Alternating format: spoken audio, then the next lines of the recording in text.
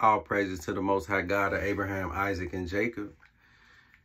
Oh, man.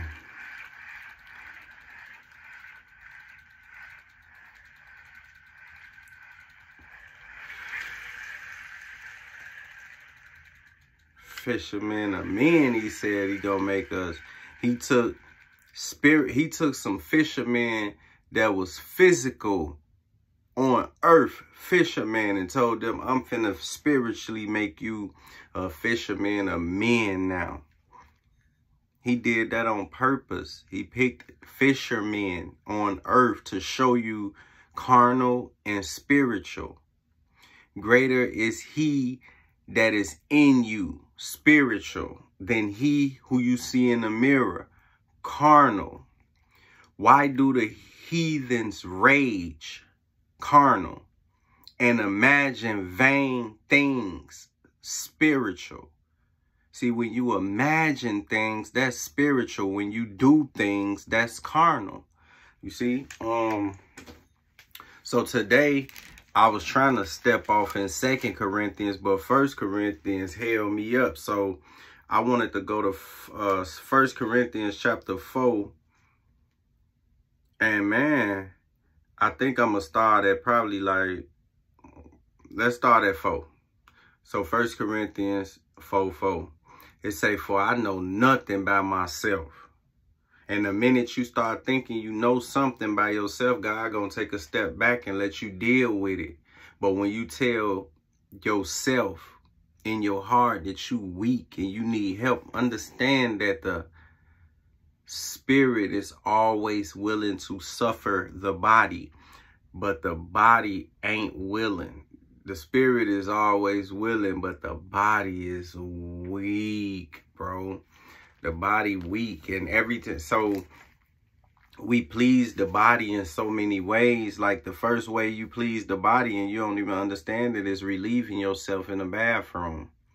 Um, when you relieve yourself, are you pleasing the spirit or the flesh. When you eating food, carnal food, not this spiritual meat, this manna from heaven. But when you eating food, what you pleasing, the spirit or the flesh. When you when you have intercourse with whoever you have intercourse with, are you pleasing the spirit or the flesh? So if you continue to ask yourself that with everything, then you would know how you please God. Because if you please in the flesh, that you become an enemy. That's enmity with God. Matter of fact, let me run to that real quick, and then we'll come right back to Corinthians, because the Corinthians got some got some heat in it. So we're gonna go to Romans chapter eight real quick. So we're gonna do Romans eight let's just start at let's start at five, eight, five. For they that are after the flesh, they do mind things of the flesh. So if I'm living in my flesh body, that's what he mean by being after the flesh. That means that I'm always trying to add a ring to the flesh body, earrings to the flesh body, you know, after the flesh mean you you you pleasing the flesh with things that the flesh want because the flesh gonna continue to tell you get that, get that, get that. What about that? That, that, that, that. So um it say for they that are after the flesh do mind things of the flesh. I'm in Romans chapter 8 at verse 5. But they that are after the spirit mind the things of the spirit. You got to understand that. It say, for to be carnally minded is death. That's to be earthly minded. To think like a human being, like a man, is death. But to be spiritually minded is life. It say, let the same mind be in you, which was also in Christ Jesus. You know, arm yourself with that same mind. It say, because the carnal mind is enmity against God the, the physical mind, the, the mind that think like a human being or a man, that is enmity against God. For it is not subject to the law of God, neither indeed can be. They not trying to hear that. They like, yo, God, yo, God, where's the promise of your God coming? Since the fathers passed away, you know, uh, when is the promise of his coming? Since the fathers sleep, everything been going on the same way as it was. You know what I'm saying? That's how we be, that's how we be looking at it. Like, uh, uh, you only live once. YOLO, you only live once. Go on and eat and drink and be merry. Tomorrow we die. You know what I'm saying? Like, all right, let's keep going. It say, okay, all right, all right. It say, so um, Romans chapter 8, 7, it say, because the carnal mind is enmity against God, for it is not subject to the law of God, neither indeed can be. So then they that are in the flesh cannot please God. God is not worshiped with man hands as though he needed anything, seeing that his hands made all things. But he say, so then they that are in the flesh cannot please God. If you in the flesh, you know you in the flesh because you love the things that you see on Instagram. Is that simple. You it say not only him that do the things that's on Instagram. You be like, I'm cool, shit. I just was laughing at it. I don't do it. Nah, not only them that do the things, but them that have pleasure in them that do the things. So if you get pleasure in love in hip hop, you guilty of what they doing. You know what I'm saying? And I know it sound weird, but it is what it is. We can't make up our own rules to worship God. Like he already gave us the game plan. We got to go with the flow. It's like you uh, we be upset because certain things happen in life, but we didn't never go in the scriptures and see where it happened already in life. The same thing that happened. You know what I'm saying? Like people be wondering, like, why would if it's a God, then why do people kids get killed? Well, if you look at what he did to the Pharaoh, what you think the Passover is all about? The Passover was let my people go. And the Pharaoh like, I ain't letting your people go. Who is you? God hit them with a plague. Boom. Here goes some frogs then. They can't even get the frogs out the land. You see what I mean? And they dying and it stank. The Pharaoh came back, pray, please tell your God to get the frogs out the land. He cool, let my people go. That's a that's so carnally, it was the real king, the real Pharaoh. Moses was telling him, God said, let his people go. Spiritually, we talking about one man. Every we talking about a man. God telling your flesh, that's the Pharaoh to let his people go. That's the spirit. God is not worshiped in flesh. God worshiped in spirit and truth. How do you worship God in spirit and truth? When the spirit of truth come to you. The comforter gonna come to you and reveal to you all things and bring them to your remembrance, the things that you have heard. But I, it say, but you are not in the flesh, but you are in the spirit. If so be that the spirit of God dwell in you. Now, if any man have not the spirit of Christ, he is none of his. The spirit of God is the spirit of Christ. The spirit of Christ is the spirit of God. It's the same thing. Let me read it again. Romans chapter 8 verse 9 and say, But you are not in the flesh, but in the spirit. If so be that the spirit of God live in you, now, if any man don't have the spirit of Christ, he is none of his. You see what I'm saying? It say, if the spirit of, so be if the spirit of God dwell in you. If any man have not the spirit of Christ, he is none of his. And if Christ be in you, your body is dead because of sin. So your body is dead to sin when Christ is in you. You see? So the same way Christ was in Jesus. Jesus wasn't Jesus Christ. Jesus was Jesus of Nazareth. But the Christ was in, that's who they was waiting on. They wasn't waiting on no man that lived around the corner who we seen grow up.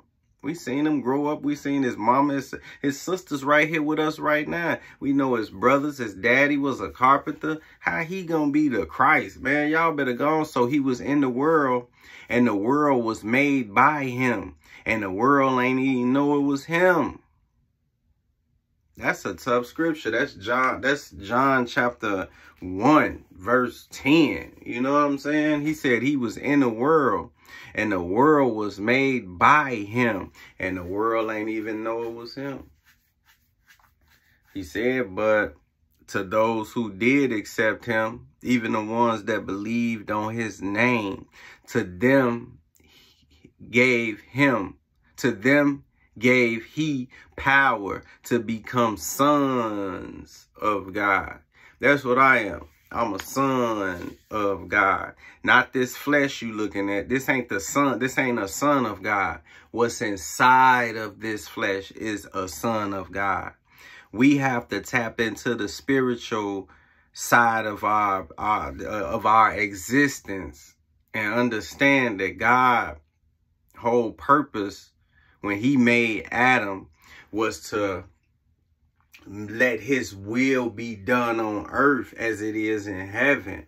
He wanted, he made Adam so that he could put a spirit, he could put his, his spirit in him. You see what I'm saying? But we also, we know that Adam ran into some complications because the minute he made Adam, shortly after that, he gave Adam some instructions. He said,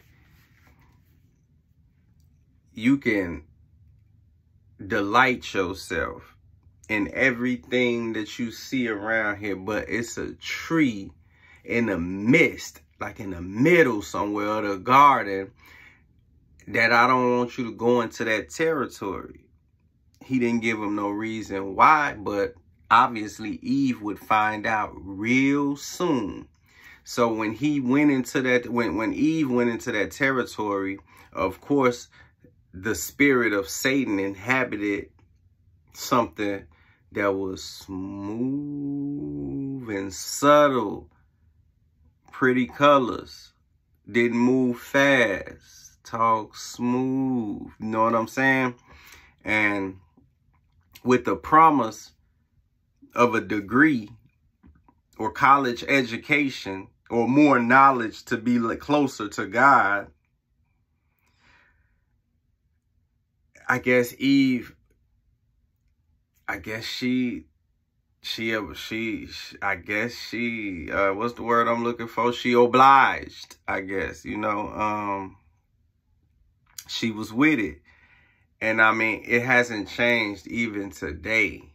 That's why you find so many, um, you find so many women still chasing school this, you know, uh, late in their life and early in their life because it's instilled in them from the genes of Eve to exalt themselves above, you know, the stars of God. Who is the stars of God?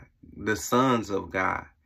But the woman was supposed to be the help meet. That meant someone who was acceptable and able to help the man out. You know what I'm saying? In in a ton of ways. But all right, let's get to it because I, I I could get long winded. I and put me a hamburger on. I turned it all the way low. I said it's gonna be a short video. That ain't how it be going though. When the Lord get on you and He wants you to talk, He He He using your body to say His words. I'm speaking the oracles of God. You see what I'm saying? I if I was pushing my rap music when I used to rap and y'all reject me, I'll be like, man, skip y'all, man. Y'all ain't, you know what I'm saying? Y'all don't know what real music is. But this the word of God. My job is to just distribute it. I'm supposed to be able to preach this word with no eyeballs. I'm supposed to be able to preach this word blind. Ray Charles, Stevie Wonder. I don't even supposed to be able to see the people I'm preaching this word to. Because when every man has heard the word on all four corners of the universe and they have either accepted it or rejected it, either or them the two, you could accept it or reject it. It's the kingdom of light, the kingdom of darkness. It ain't no free will to be all you could be or go to the army and all that. Once you choose what kingdom you in, then that kingdom gonna choose whether you go to the army. You see what I'm saying? It's a spiritual fight. It say the weapons of our warfare are not earthly. They are not carnal, but they mighty through God to the pulling down of strongholds, casting down the imagination and every high thing that is all itself against the knowledge of God. You feel me? You see what I'm saying? Like for real. So don't even play the game it's instilled in every human being that it had an existence before it was put in a body. And you, and when you find out, you will be staring in the mirror and you will touch yourself like this really me. Like, dang, I'm stuck in this body. It's I then the thought come in your head like I gotta go through death. Like, yeah, that earth suit gonna expire. But what's inside that earth suit that make them eyes get wide, that make that arm come up, that make that arm go down, that pick up and drink some water.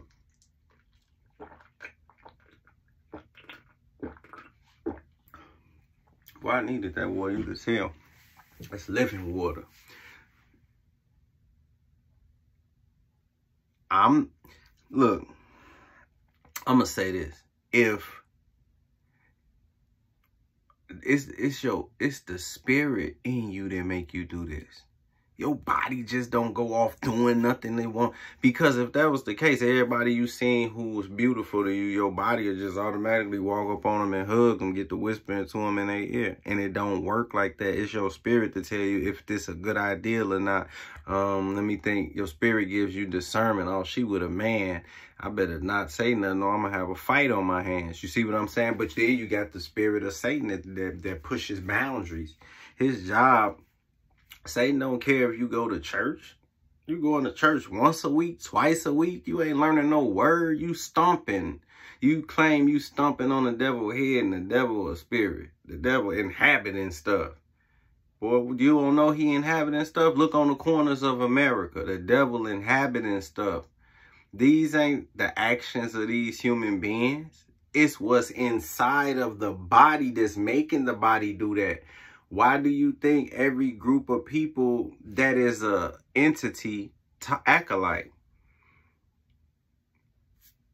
Because it's the same spirit inside of them. Why you think the Bloods and the Crips, they only wear different colors, but everybody got their pants under their booty. You see what I'm saying? Why do you think all the women got on wigs and everybody painting their face and trying to look different? Green hair, red hair, orange hair. This is a spirit that's inside of the people that's making them act this way and ain't nobody countering it. So if don't nobody counter it, then it's a it's a good idea. You see what I'm saying? If I can make myself look different, don't nobody want to be how God made them. God is love. So you can't tell me if you're going against what God's, it, it, whatever God word, whatever he left for us to, to give reverence to, you can't tell me that you a son or a daughter of God. If God is love and you want to get some type of change made to your body to, to draw more attention to yourself, then what you're doing is you taking the attention away from God and you putting it on you. So right there, you got abomination. Luke chapter 16, 16 said, no, chapter 16, 15, it said, um, that which is highly esteemed among men is an abomination to God. So if you highly esteem the 4th of July, abomination of God. If you highly esteem Christmas, abomination of God. If you highly esteem a woman, a car, a, some type of dogs, if you highly esteem money, if you highly esteem jewelry, clothes, sex, food, whatever, it say that which is highly esteemed among men is an abomination to God. Hate less, God more. God is love. God don't have love. He is the emotion of love. Ecclesiastes say, let's go to Ecclesiastes chapter 9. It say, no man know either love or hate by all that's in front before them.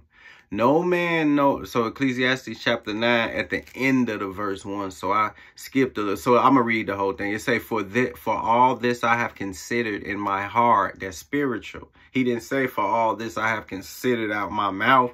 He said in my heart. Even to declare all this. That the righteous and the wise and their works are in the hands of God. So if somebody built the Sears Tower and whoever put the blueprint together for that, that that was the hand of God. God said, did not my, what house could you build me?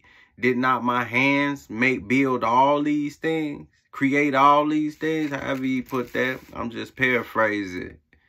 It say, and their work are in the hand of God. And no man know either love or hate by all that is in front of him. So just by what's presented in front of you, you don't know what love is. You don't know what hate is. You, know, you don't know what love is. You don't know what hate is. Love is the kingdom of light. Hate is the kingdom of darkness. God is love. So obviously, his opposition would be hate. So God is love. Satan is hate. The kingdom of light is love. The kingdom of darkness is hate. No man knows either God or the devil by all that's in front of him. No man knows love or hatred by all that's in front of him. God is love. Hate is the opposition or the opposite of love. So obviously no man knows God or the devil by all what's in front of him. We just think man, that was mean to do. That was nice to do. That was mean to do. For you to and for you to even get these emotions up, for you to even have the emotion of love inside you, that you would have to have God inside you. Other than that, if for you to have the emotion of hate inside you, you would have to have the father of hate inside of you. You see what I'm saying? Like, all right, let's keep it moving though. So, all right, I was in Romans. So, all right, let's let's swing back to the First Corinthians. We was doing chapter four, and I'm just gonna fly through it. Too much talking. It say, "For I know nothing." So I'm in chapter four, verse four, First Corinthians. It say, "For I know nothing by myself, yet am I hereby just am I hereby not justified? But he that judged me is the Lord. Therefore, judge nothing." Therefore, that's why I could, I could preach this word with my eyes closed because it don't matter who it hit. It even matter who get it. You see what I'm saying? It's a judge nothing before the time until the Lord come. Who, who both will bring to light the hidden things of darkness and will make manifest the counsels of your heart. He gonna make manifest what your heart really thinking. And then you gonna be convicted and then it say, and then shall every man praise God, praise of God. And these things, brothers, I have in a figure transferred to myself and to Apollos for your sakes, that you might learn in us not to think of men above that which is written. A man? I don't care who it is. It say, it say, uh, that, that you might learn in us not to think of men above that which is written, and that none of you be puffed up or against one another. For who made you different from another person? Who made that? Who made your nose pointy? Made they nose fat? Made they eyes big? Made they eyes low? Made they chin short or, or long or it say for who make you different from another and what have you got that you did not receive if you feel like you beautiful if you feel like you got body parts on you that's incredible and everybody love it he said who gave it say, and what have you what have what have you that you did not what do you have that you did not receive? Now, if you did receive it, why do you glory as if you did not receive it? You glory in how pretty you is like you didn't receive that. God could take away your pretty. You think you thick, got a nice shape, God will put you in a wheelchair. You think you handsome and all swollen, you know, God, don't play with the Lord, man. He'll break you down. You got pretty waves in your hair, nice, nice. What? God will put a bald spot up there. Quit, don't play with the Lord, man. He a spirit. So he be right there the man we kicked to the curb. Like, bro, get on up out of here. Woo, woo, woo. Man, I was just trying to tell you that the Lord told me to tell you. So I don't want to hear nothing about your God. Bro, get up out of here before we jump you. You know, whatever you going to do. You see what I'm saying? Be careful how you entertain strangers.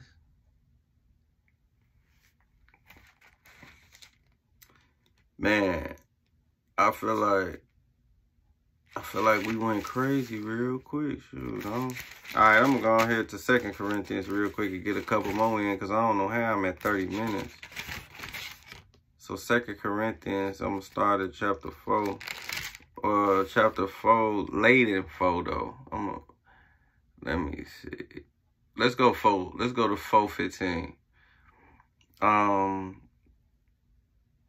it say, for all things are for your sake that the abundant, abundant mean a lot, that the abundant grace might through the thanksgiving of many redound to the glory of God, for which cause we we don't faint, but we ought to, but though our outward man, that's this flesh body, he said, though our outward man perish, Yet the inward man is renewed day by day for our light affliction, which is only but for a minute.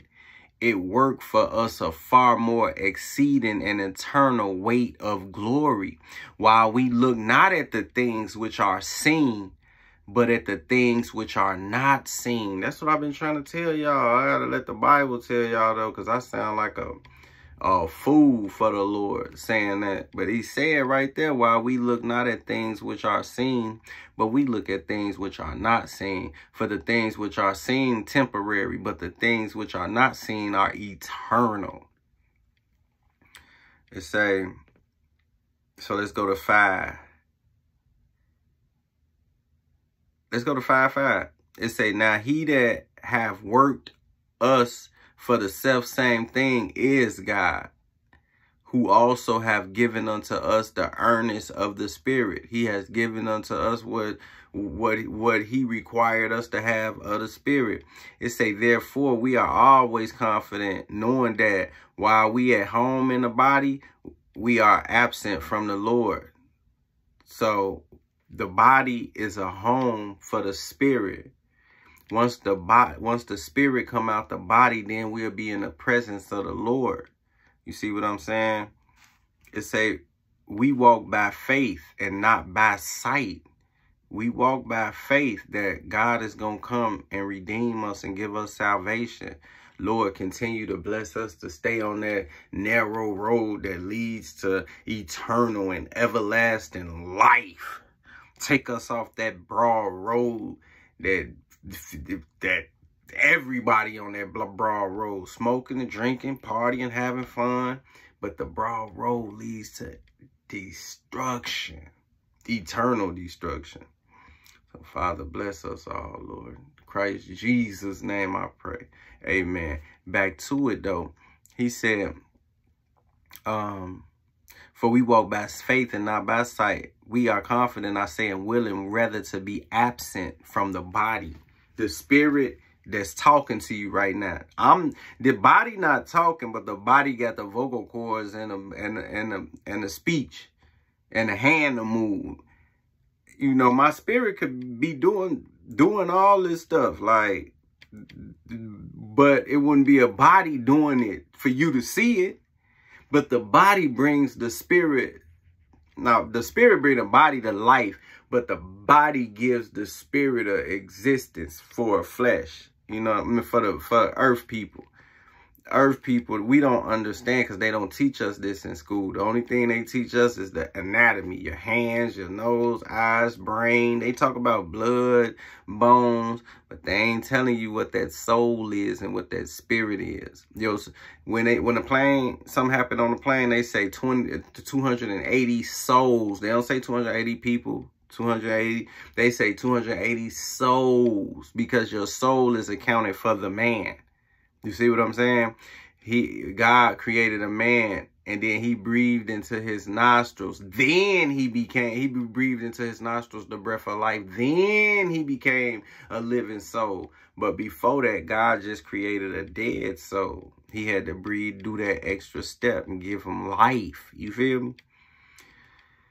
So yeah, I ain't gonna hold y'all long. Let me do this. Um, wherefore we labor that whether we present or absent, we may be accepted of him. For we all must appear before the judgment seat of Christ, that everyone may receive the things done in his body, according to that he have done, whether it be good or whether it be bad. We all gonna receive the things that we done while we was in this body it explained all this stuff in the scriptures. Why the preachers ain't told us none of this stuff.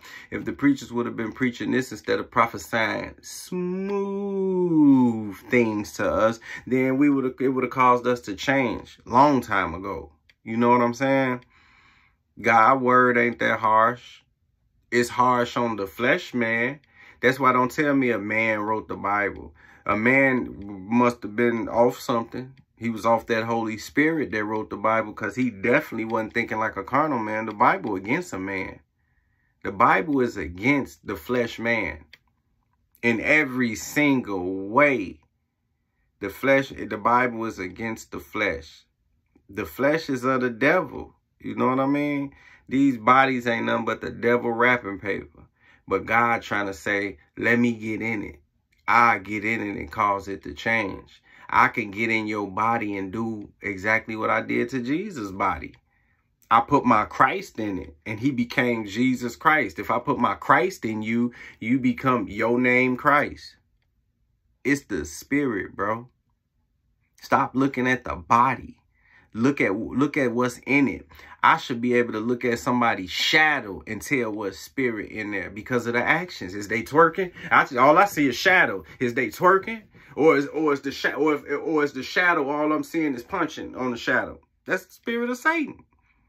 Whatever you're doing, even if they humping, if they whatever, I you should be able to see the spirit of a man through his shadow. Whatever his shadow doing, you should you don't even got to see the man, but what the shadow doing. You know what I'm saying? You see a shadow playing basketball, you will say, oh, that brother playing basketball.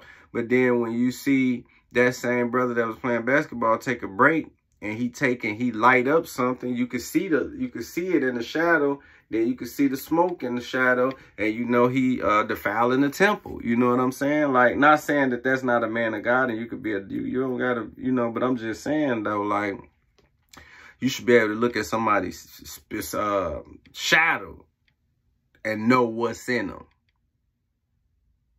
You can tell a tree by its fruit.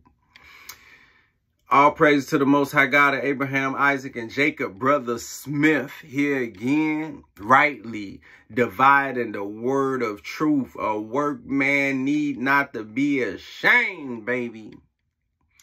Y'all have an excellent night, brothers and sisters in Christ. I'm finna get that hamburger in me I was talking about earlier. You feel me? Yeah. Hey hate less and love more. Or you could love more and hate less, however you want to do it. But this is God and this is this is Satan and this is God. God is love. Satan is hate. Let's love, let's love more and let's hate less. Let's hate less. I don't got it down, Pat. I didn't come to you with the wisdom of man's words, but the power of the Holy Spirit, he said. Salute.